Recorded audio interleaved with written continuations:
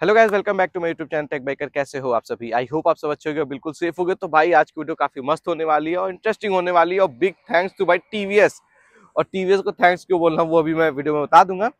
तो भाई, काफ़ी टाइम पहले मैंने एक वीडियो बनाई थी, आप लोग को याद होगा। अगर नहीं याद होगा तो प्लीज़ चेक कर लेना, जिसमें मतलब थोड़ी सी मैंने बुराई की थी बाइक की सर्विस को लेकर तो भाई, देखो, देर है, दुरुस्त है।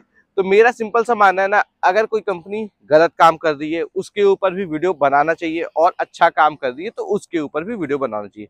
तो जैसे उस वीडियो में मैंने बताया था कि मैंने ये पीछे का जो पैनल था, ये ऑर्डर किया था और काफ़ी टाइम हो गए थे दो तीन महीने आया नहीं।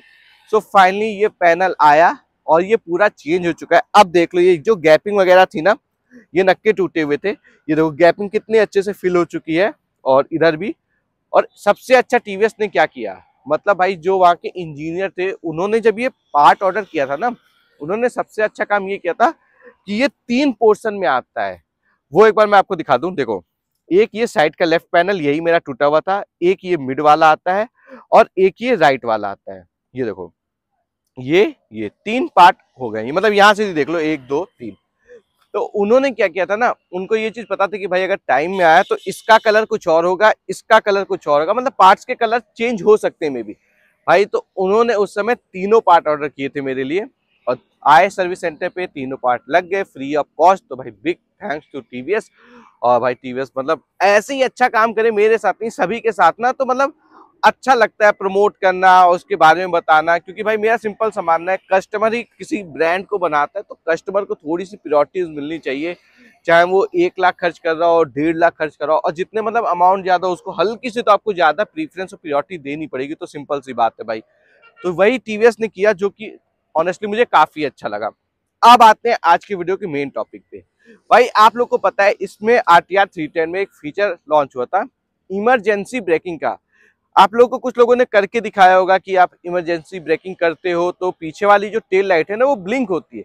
लेकिन कभी किसी ने आपको ये नहीं बताया कि वो किस स्पीड में करती है, उस भाई मतलब वो इमरजेंसी ब्रेकिंग कब ऑन होती है, क्या स्पीड होनी चाहिए।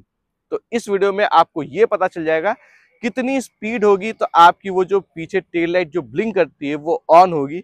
तो बिना किसी देरी के हम गोप्रो लगाते हैं, मेरा भाई पीछे से शूट करेगा और आपको पहले मैं 50 के स्पीड में चेक कराऊँगा, फिर 70 के स्पीड में चेक कराऊँगा।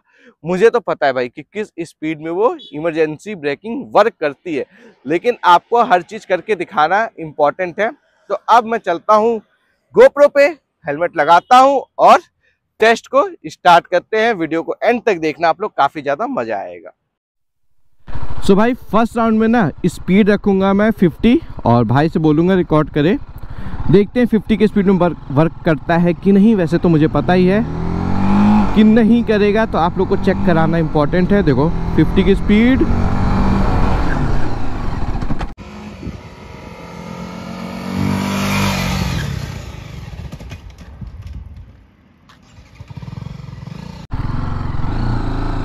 अब पीछे की क्लिप डाल देंगे। भाई मेरा बता रहा है वर्क नहीं किया। अब स्पीड को रखते हैं हम 70 और फिर ट्राई करते हैं। चलो, अब 70 पे ट्राई करते हैं।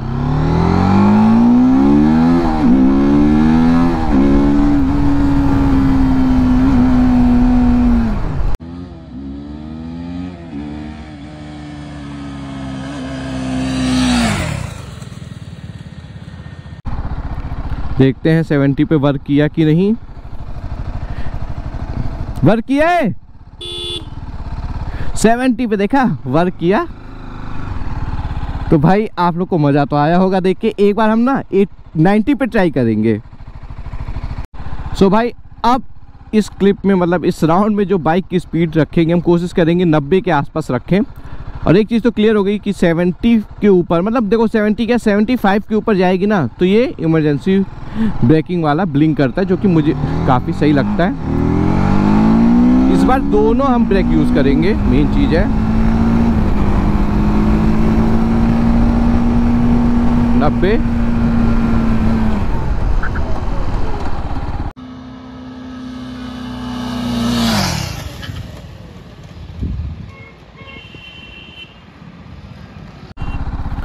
और भाई ये बिल्कुल सेफ़ जगह पे कर रहा हूँ। पीछे देख लो, अभी भी कोई गाड़ी वगैरह नहीं आ रही है और शीशे में देखता भी रहता हूँ। सो अब कैमरे के सामने आते हैं, फिर करते हैं वीडियो को एंड सो so, भाई, आप लोगों ने देख लिया कि इमरजेंसी जो ब्रेकिंग है, वो 75 मतलब 70 75 के ऊपर ही वर्क करती है। और मैंने इसमें फ़र्स्ट फ़र्स्ट जो सेकंड राउंड था, उसमें केवल फ़र्स्ट वाला ब्रेक यूज़ किया था। सेकंड राउंड में मतलब थर्ड राउंड में सॉरी मैंने फ्रंट और रेयर दोनों ही ब्रेक का यूज़ किया था। और मस्त ब्रेकिंग भी हो रही थी। बाइक का साउंड भी आप लोगों ने सुना, कितना मस्त हो चुका है। और उसके बाद इमरजेंसी ब्रेकिंग में लाइट कितने अच्छे से ब्लिंक कर रही थी। आप ये सोचो, जब डे लाइट में इतने अच्छे से विजिबल है तो अगर रात में आपको इसका यूज़ करना पड़ गया, खुदा ना खास्ता मतलब कि इतनी जल्दी में आपको ब्रेक लगाना पड़ा तो कितने अच्छे से वर्क करेगी और पीछे वाले के लिए कितना मतलब विजिबल रहेगी? तो ये फीचर्स मुझे ऑनेस्टली बताओ तो काफ़ी ज़्यादा अच्छा लगा। तो मेरे हिसाब से तो बड़ा अच्छा फीचर है और अब आपको स्पीड भी पता चल चुकी है। 75 के ऊपर ये वर्क करता है अच्छे से। तो प्लीज़ वीडियो को अपने दोस्तों के साथ शेयर करना जो R T R C ten owner है या जो R T R C ten owner नहीं है, उनको भी भाई शेयर करना। इतनी यूनिक यूनिक और अच्छे कंटेंट हम लाने की कोशिश करते हैं। मोस्टली मैं ट्राई करता हूँ ना कि यूनिक यूनिक से कंटेंट लाऊँ जो बाकी लोग नहीं बनाते। सो आई होप आपको वीडियो अच्छा लगा होगा। वीडियो अच्छा लगे तो प्लीज़ वीडियो पर लाइक करना कमेंट करना वीडियो को दबा के शेयर करना। मिलते हैं नेक्स्ट वीडियो में। तब तक के लिए bye bye take care keep loving and keep supporting us